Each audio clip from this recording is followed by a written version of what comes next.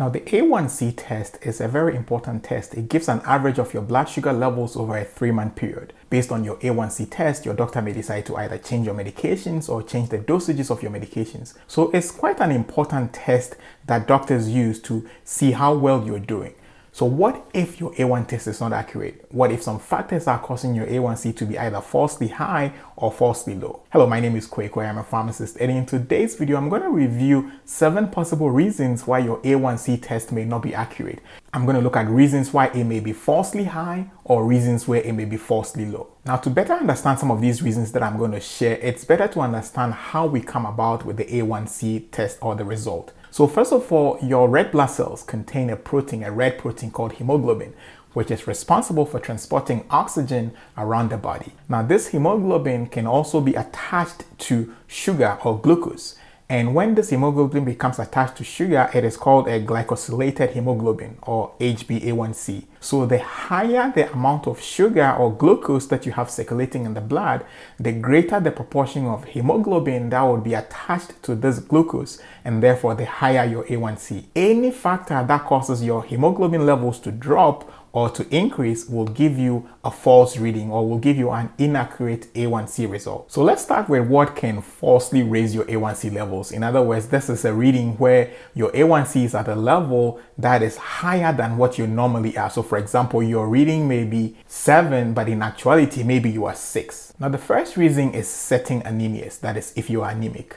Anemia is a condition that involves not having inadequate red blood cells circulating around the body and supplying oxygen to all the parts of the body. Now, this if this anemia is caused by a lack of folate, a lack of vitamin B12, or a lack of iron, it also interferes with the body's normal production of red blood cells. So what happens is that the old red blood cells stay longer. Normally you would expect a red blood cell to have a lifespan of about three months. And that is how we get the average A1C over a period of three months. So if the older cells are staying longer and they are not dying off, that means that there is a longer time for them to be attached to glucose. And therefore you have a false reading of an A1C. Your A1C, it appears that there is more sugar in your bloodstream than there actually is, just because you have more red blood cells that are not dying off and are staying on to skew the results to become falsely higher. Number two, high triglycerides. Now, triglycerides is a form of lipid or cholesterol, if you want to put it that way, and it's all it always goes hand in hand with your A1C levels. People who have higher triglycerides tend to have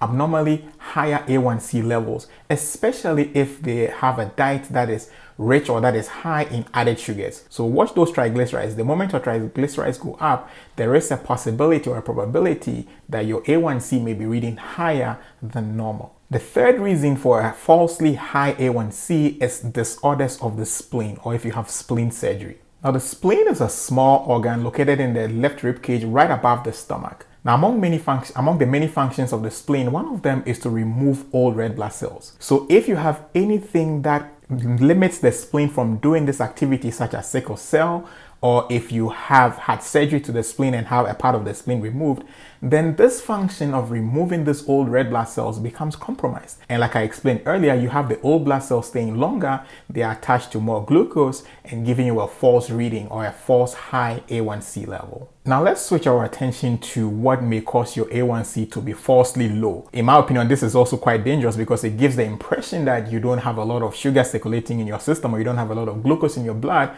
but in actuality, it may be higher than you think. The first reason is anemia treatment. Now, if people are getting anemia treatment, say maybe they're getting B12 shots, they're getting iron supplements, what happens is that their body rapidly starts producing new red blood cells. Now, with the influx of these new red blood cells, there's going to be a lot of hemoglobin that hadn't gotten a chance to be attached to the glucose. So when you take a reading, you think that, oh, there's not enough or there's not too much sugar circulating in the blood, not knowing that the new red blood cells or the new hemoglobin haven't had enough chance or ample time to be bonded to the glucose to give you that correct reading that you need. That leads me into the, the second reason for a falsely low A1C, which is after blood donation. Now, whenever you donate blood, the body obviously wants to replenish what you've lost. So the body goes into a cycle of rapidly producing red blood cells. And as explained earlier, if your body is rapidly producing new red blood cells, there hadn't probably been an opportunity for all those new hemoglobin to be attached to glucose and that may also lead to a falsely low A1C level. Now the next reason is pregnancy. As can be imagined, during pregnancy, the body produces more red blood cells because there's an increased demand for supplying oxygen to the fetus and this increased production of red blood cells may lead to a falsely low A1C. And then we have the next reason, which is hemolysis. Now, hemolysis simply means distraction of breakdown of the red blood cells. And this could be due to a variety of reasons, such as taking some medications. Some antiviral medications may cause an increase in hemolysis of red blood cells, or even certain autoimmune diseases may also re result in the breakdown of red blood cells. Now, if this happens, it ultimately leads further down the line to a falsely low A1C level. Now, so in case you fall into any of these categories and you're wondering what other tests may be appropriate for you to get an accurate reading, well, I'm going to list three of them that I'm sure your doctor already is aware of and you can also discuss with them. The first one is the fasting blood glucose, which is a, a glucose reading taken after a fast. So that means that you wouldn't have eaten over a long period of time and then you take your blood sugar test. You take a test and then you compare it to what is the norm. The next one is the glucose tolerance test, where the your doctor will give you a, a, a, sweet drink or a sugary drink, for want of a better word, and then they will test how quickly your body actually is able to dissipate or metabolize that glucose. And there are standards that they can compare to. Now, the third test that you can take is called the fructosamine test. Fructosamine is a protein that is also found in the blood